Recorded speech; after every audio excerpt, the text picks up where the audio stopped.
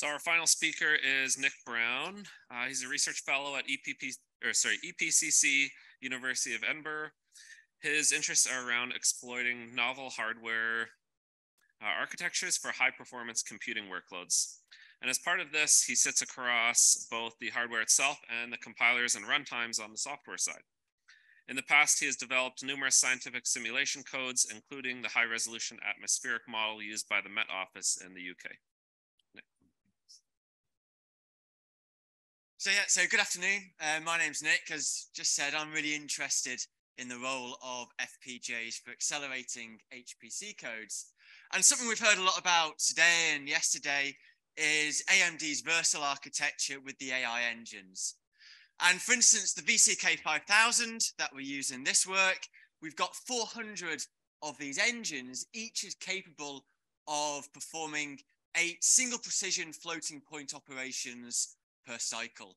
So when you run the numbers, it's fairly impressive raw compute performance. And really the purpose of this short paper is an experience report to kick the tires of the technology. You know, how far can we push these for HPC style codes and what lessons can we learn along the way?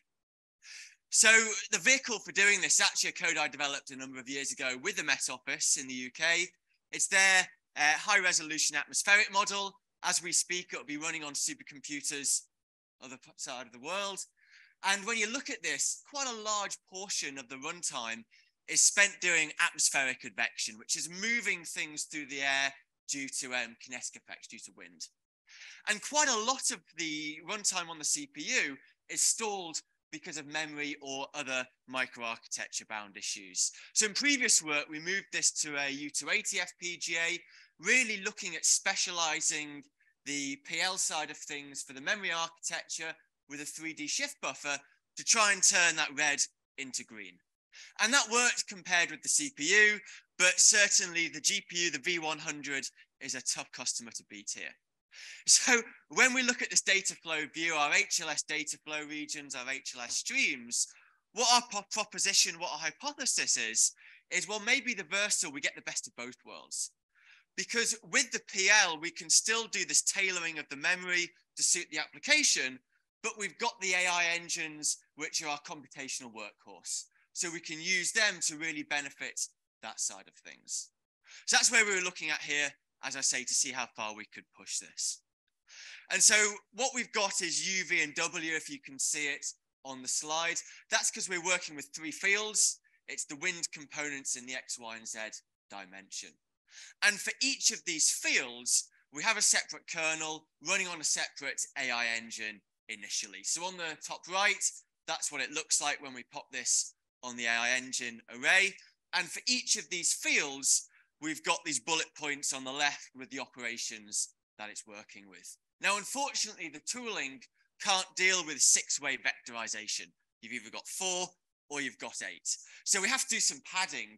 And therefore, this flowchart um, towards the bottom middle are all the operations going on per field for each AI engine with these 16 values popped in, these 16 single precision numbers, eight plus eight, and then a further eight going in multiplied at the next stage. Much more detail in the paper how we do this, but we built it, we run it, it works. But compared with the PL only on the VCK 5000, this was pretty disappointing. And the reason for this is each of these kernels, each of these AI engines, the maximum you can have are two input streams.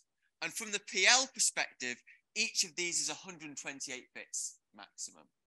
So for each field per cycle, we can put on eight single precision values. But in fact, we need 24. So we've got an initiation interval of three, or only every three cycles from the PL side of things can we send a grid point over.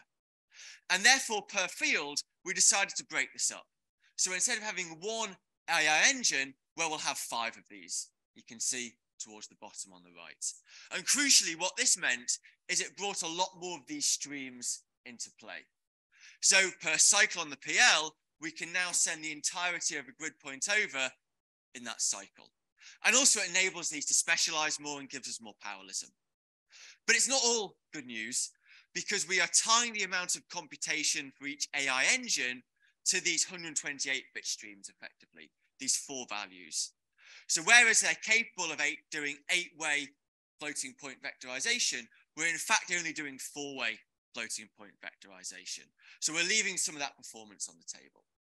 But hey, this gives us a performance uplift, even if it is still not yet reaching the PL approach. And the reason for that, when we looked at this in more detail, was the way in which we were connecting these AI engines within the array. We were looking at doing this via these 32-bit streams internally, and that then had overhead in terms of sending these four values onto the next AI engine. Now, in the paper, we go into more detail exploring the cascade streams on the array. These are much wider, 384 bits wide. They look like they would do exactly what we wanted, but crucially, you only have one per AI engine. So what this really limited was the structure of how we could lay these things out and interconnect them together. And we couldn't do this thing at the end where we have two AI engines feeding into one with their partial results. And it meant we had to adopt this thing at the bottom, and we had the same issues that we had initially. So instead, moving to using windows or buffers here. And if I'm honest, initially we discounted this approach. And the reason we discounted this approach is with these, what you've got is your data in the window, it's all consumed, your AI engines effectively shut down, they start back up with the next piece of data in the window. And then that gets consumed, it's shut down again, started back up. So on a grid point by grid point basis, this was terrible. They were shutting down, they were starting back up all the time, and we couldn't do this pipelining that we need for the seven-way VLIW core.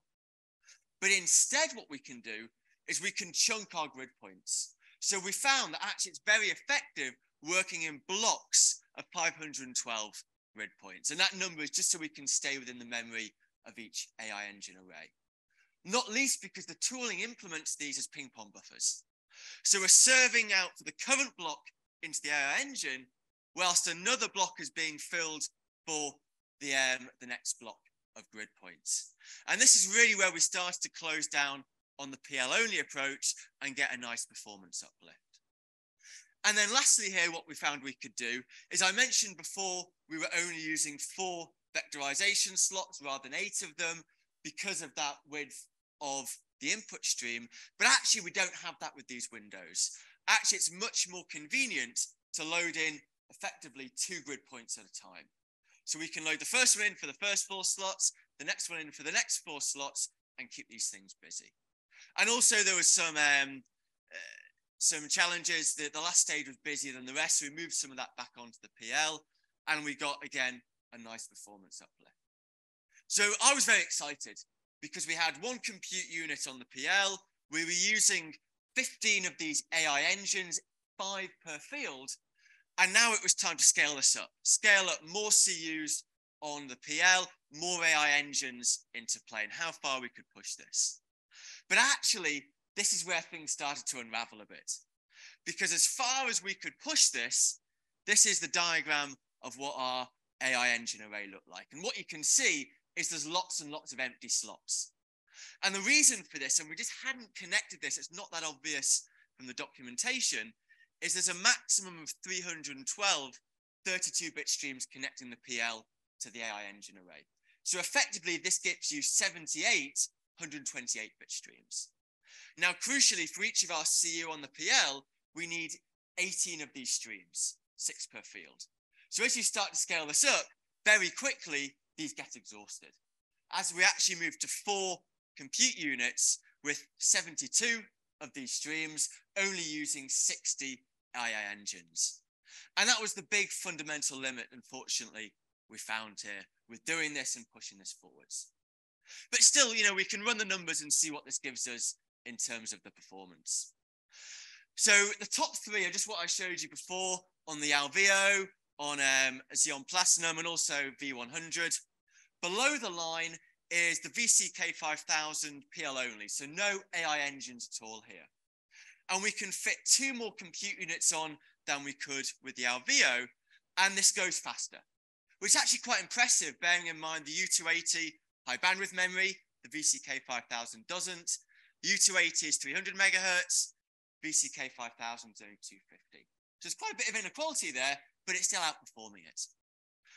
With the AI engines, we can only fit four compute units on, but even though with that, it is matching the performance of the U280. It's a real shame we couldn't bring more of these into play with doing this.